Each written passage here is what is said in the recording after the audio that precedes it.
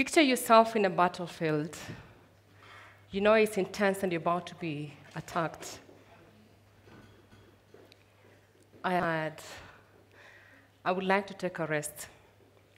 These are not the words that you like to hear at this point of your life.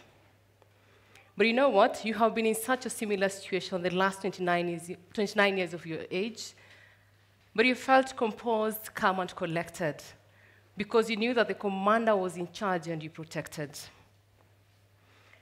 So while still at the battlefield, this commander comes forth and says, Guys, you know what? I am tired. I would like to take out.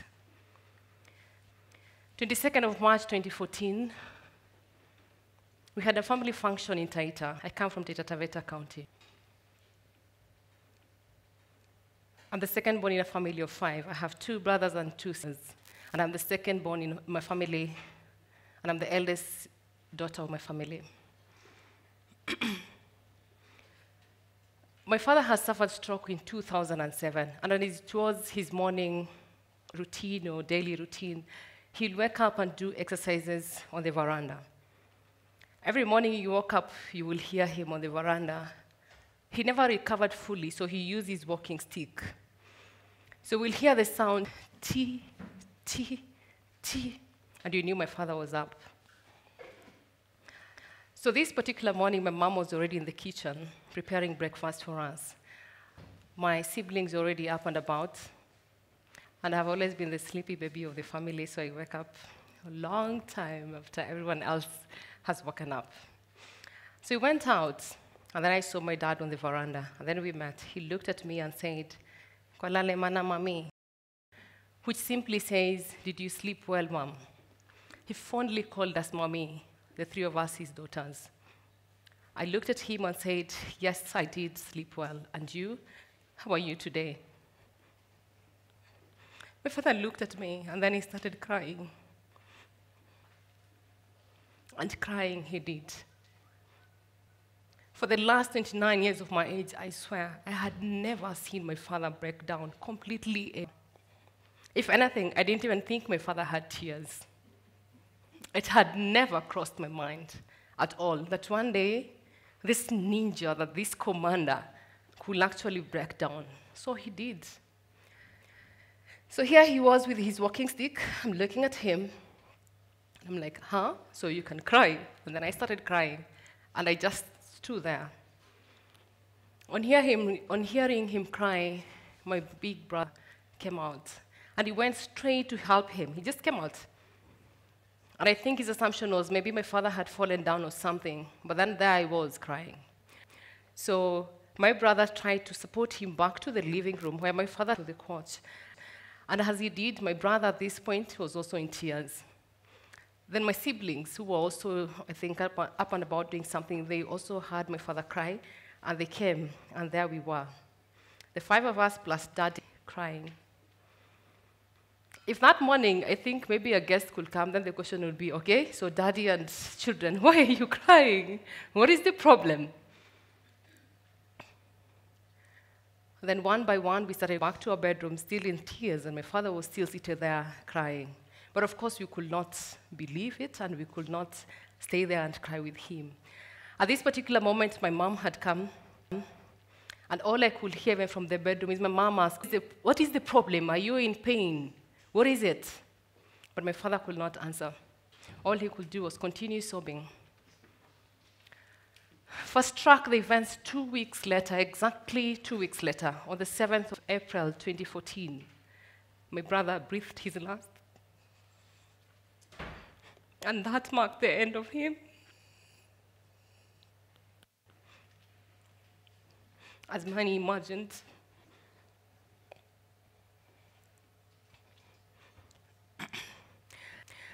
My father died on a Monday morning, slightly after 10 a.m. And trust me, five days later, until my father was buried, I had not slept. Even for, even for a second. I don't know what happened, but something happened and I just felt numb. I woke up the day past, Tuesday was there. I was in Nairobi with my two siblings, who I call my babies, my baby's siblings, That's our second last born and last born sister who is here with me. But we were busy preparing for Matt's burial. He was in Mombasa and he's going to be buried in Taita on Saturday. Those who know me know that I love my sleep and I treasure my sleep. I'm the kind of a girl who goes home on Friday very tired. I sleep at 10 and set my alarm for 10 in the morning. My alarm rings at 10. And I'm like, oh my God, it's already 10. No, I still need two more hours. And then I add another two hours and go back to sleep. For those five days, I'll be fine. I never slept. One, I think I was in denial. At the same time, I was very shattered. I was in disbelief. No one had ever prepared me for my dad's death, and no one had ever prepared me for my parents. I'm the kind of a person who also believed the five of us were going to be intact all through my life. I knew my right to have my parents intact. And then here I was, I got the news that my father is no more. So, and I started thinking of the events that happened. One, I could not get away the picture of him crying. This commander that I had truly trusted in had begged to rest. And there he was, he shed tears for the first time in my life, and I saw it. to me, my father was my unsung hero. Never mind that drove him crazy like any other girl would do, and especially during teenagehood. we did not agree on many things. But you know what? His unconditional love. My father loved us unconditionally. Look back now, I know it just meant pure love. And not just for me, but the five of us. I really wanted to be like my dad in many ways. My father was such a hardworking man, and I mean exactly that. And that meant we never lacked. We had quite a privileged childhood. And that, for that, I'm very grateful. All the time I look back and I think of all the privileges we had, it's because my father worked extremely hard. At any given, of, any given time of his life, my father had like three businesses. My father operated matatu business. For those who have been in that kind of business, you know what it means.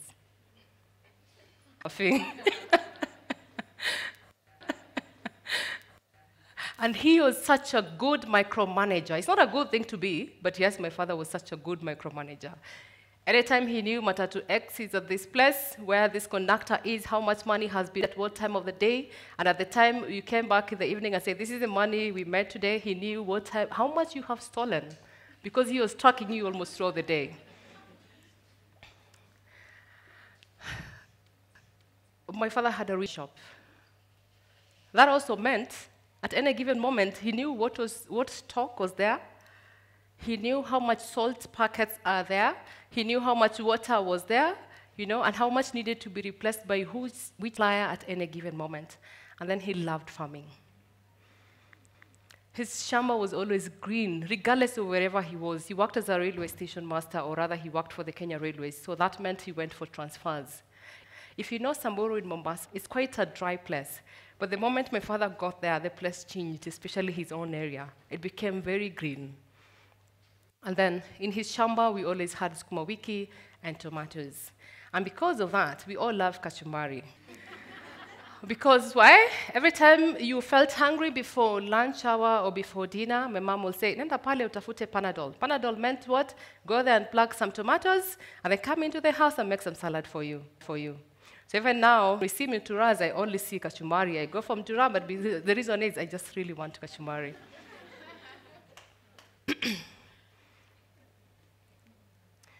Yeah. So I think about all those things, and those are good memories. When my father suffered stroke in 2007, he was admitted, I remember very well, for almost a month at the, at the Khan Hospital in Mombasa. The biggest fight between him and the nurses was for him to put down his phone so that he could get some rest. But all he wanted to do was to micromanage everything else, even in his sick bed. That was my dad he set standards for us, and that excelling in school was not up for debate. You had to be number one, number two, number three, period. Nothing more, nothing less. Anytime you're beyond those numbers, you had not worked hard. So this is what happened. And therefore, every time I just wanted to go to school, to work hard, to be number one, number two, number three, so that I could please my dad. So with his departure, I felt really lonely. I looked at myself and realized I had no purpose anymore. He cheered me on, and he was so proud of my little achievements. I'm a journalist by profession, though now I do media consultancy, and I also work for human rights organization. I started off as a radio presenter in Baraka FM Mombasa. And my father was so happy to listen to me and also to tell me that so and so say they listen to me. So he was very happy to hear people tuning just to listen. So with his departure, my life kind of stopped. I'm not suicidal, so that did not cross my mind. However, I felt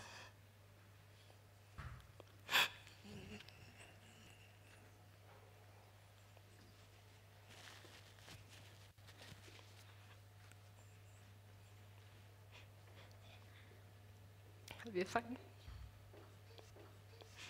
My life had come to an end.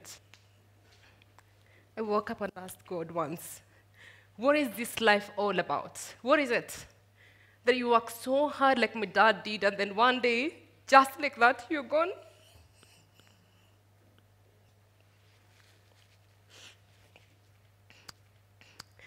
So I thought about many things. I thought about how about I look for a way to start celebrating my dad and to start thinking about him coming back one day? So picture your loved ones who've gone before you. And then one day they will be back. That one day they will come and join you again. But that was not true because every day I slept, every day I woke up, it was another day. Days came and went, weeks came and went, months came and went.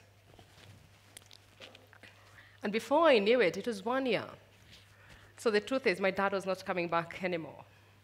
He was gone, and that was for a fact. So what I did is started accepting the situation. to believe in it that my father will not be back at any given point of my life. And that changed my life. It was hard, it was a painful process, but yes, I knew for sure he's not going to be back any time of my life. And therefore, I had to fight my life. But you know what? God has been good to us and to my family. A lot has happened since left us. We now have additional members in our family. My mom has two grandchildren. That means I'm an aunt to two. I have a niece and a nephew that I really adore, that I really, really love. And my mom has remained the rock that binds us in prayer. So I know it is tough, yes, but there's light at the end of the tunnel. So I chose to change my story. I said, looking at myself, I said, you know what? This is painful, yes, but again, I have, uh, let me find my purpose in living. Let me see what it is that I can do. And if my father was going to come back today, I still want him to be very proud of me and of the woman I have come, I've become. I still want him to look at me and get amazed and say, wow, you made all those decisions, life decisions for yourself? Because I was so used to contacting my dad. I was so used, every time I wanted to make something that I thought was risk taking or something that I thought was really above me, I would call my dad. And if my dad said yes, then I was going to do it. I resigned from Baraka FM two years after, after, after I started working. And I recently met a friend who told me, You know, I look at how far you have come. Then I remember the, the, the time you told us you're resigning. We sat down and spoke about you, and we said, You know, this girl has a future. But I don't know what she's running to do in Nairobi because I really wanted to resign and come to Nairobi. I thought Mombasa was too small. So they all told me, stop. You work in Baraka FM. Baraka FM frequency gets up to Kibwezi at the most. Beyond Kibwezi, no one knows you. So you might think you're a celebrity in Mombasa, but you know what? No one knows you past Kibwezi. It's going to be tough for you. But what they didn't know is I had made a pact with my dad. I had spoken to my dad and told him about my ambition to go back to Nairobi to do my master's one, and two, to get myself a job in Nairobi because I thought I had bigger and not just in Mombasa. And I felt Baraka FM was small for me. So my father said, I give you all my blessings. If you go and it backfires, this shop can become you. so with that, as small as it I felt, you know, I have a plan B. I'm going to go to Nairobi to try it out. It fails, I'm going to go back home and help my father with his retail shop. So I started accepting the situation that my father was gone and gone for good. I started looking at my life and decided to make decisions for myself. Many times I have made decisions that, even for me, they have perplexed me. I wake up and I'm like, oh, wow, did I do, did I do this for myself? Did I decide this for myself? And I also feel some power that I'm like, hey, now I could do it even without consulting him. I went for counseling, and finally I found a conversation just randomly from a video clip. And this is what it said People, I've stopped worrying about people and things that are not with me. I've stopped worrying about people and things that I have lost.